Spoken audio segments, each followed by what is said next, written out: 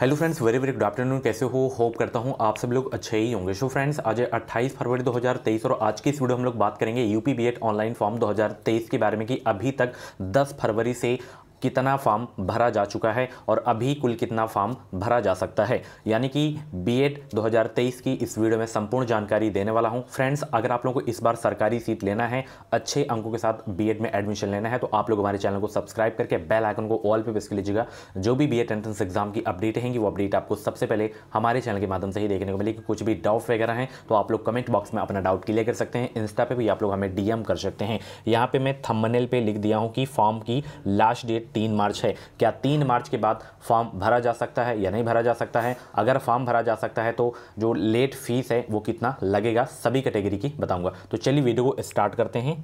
सबसे पहले मैं बता दूँ बीएड प्रवेश परीक्षा 2023 की तैयारी हमारे चैनल पे बिल्कुल फ्री में कराई जा रही है। यहाँ पे देख सकते हैं डेली क्लासेस का टाइमिंग आप सभी लोग देख सकते हैं। डेली सुबह आपकी जो है नौ बजे समान ज्ञान की क्लास चलती है, डेढ़ बजे हिंदी की क्लास चलती है, शाम साढ़े छः बजे सब्जेक्ट एबिलिटी एंड रीजनिंग की क्लासेस चलती हैं। तो सरकारी सीट लेना है तो इस चैनल को सब्सक्राइब करके घंटी वाली बटन को ऑल पर प्रेस कर लीजिएगा ताकि जो क्लासेस चलती हैं, जो अपडेट आती हैं, उनका नोटिफिकेशन आपको टाइम टाइम से मिलता रहे। वीडियो स्टार्ट करने से पहले हम लोग इस वीडियो में बात करेंगे यूपी बी एंट्रेंस एग्ज़ाम 2023 के बेस्ट बुक के बारे में, जो कि है चक्षु प्रकाशन की बुक आप लोग इस बुक का कवर पेज देख सकते हैं। कला वर्ग की स्टडी गाइड बुक है। इस बुक में आपको सत्ताईस से ज़्यादा इंपॉर्टेंट क्वेश्चन छः सॉल्व पेपर यानी कि सत्रह से बाईस तक के प्रवेश पेपर्स आपको देखने को मिलेंगे, नए पैटर्न पर आधारित है।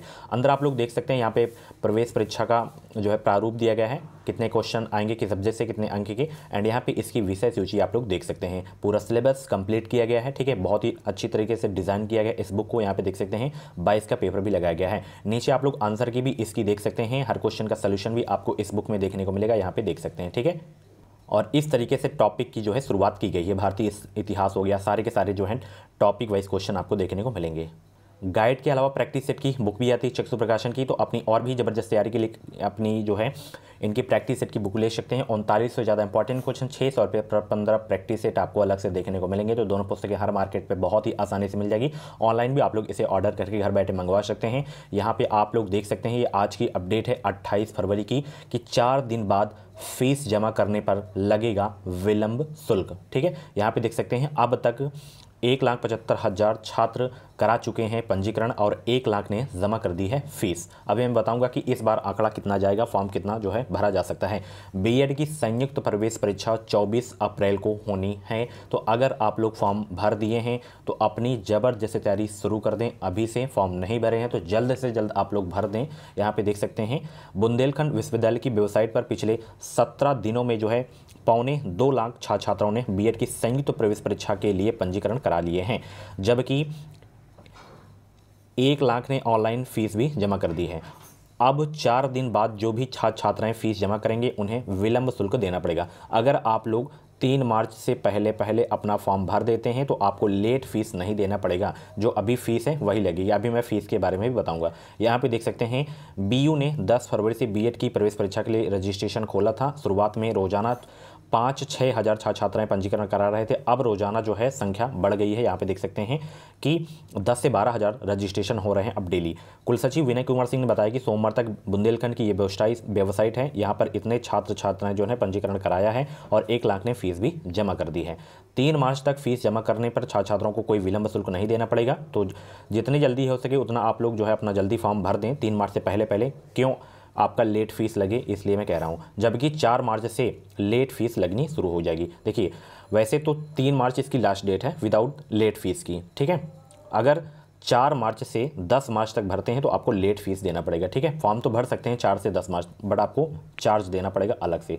यहाँ पे देख सकते हैं कि बताया जा रहा है कि जो है, अभी सामान्य और ओबीसी छात्रों को जो है, जो फ़ीस देनी पड़ेगी, चौदह सौ रुपये देनी पड़ेगी। वही चार मार्च से दस मार्च के बीच में अगर आप लोग फॉर्म भरेंगे तो आपको जो है छः सौ रुपये एक्स्ट्रा देने पड़ेंगे, यानी कि दो हज़ार आपकी जो है फ़ीस लगेगी, ठीक है? वहीं एस सी छात्रों की जो अभी फ़ीस है, वो सात सौ रुपये है। अगर चार से दस मार्च तक अगर आप भरते हैं तो आपका जो फ़ीस लगेगा भाई, वो एक हज़ार रुपये लगेगा, ठीक है?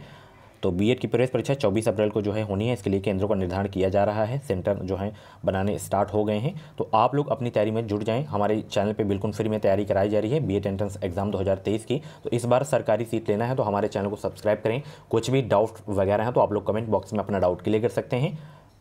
प्ले आप लोग जाके देख सकते हैं। प्ले में आपको हिंदी टॉपिक वाइज जी टॉपिक वाइज कला वर्गी की जो है प्रैक्टिस सेट की आपको जो है वीडियोस मिल जाएँगी, ठीक है? तो चलिए भाई, मिलते हैं अगली वीडियो पे शाम साढ़े छः बजे। Thank you so much channel को सब्सक्राइब कर लीजिएगा बी की पल पल की लेटेस्ट ऑथेंटिक अपडेट पाने के लिए। थैंक यू सो मच और ये मैं बताना भूल गया हूँ कि इस बार कितना फॉर्म भरा जा सकता है। तो देखिए, इस बार मान के चलिए कि तीन लाख जो है आवेदन हो सकते हैं, तीन लाख, ठीक है?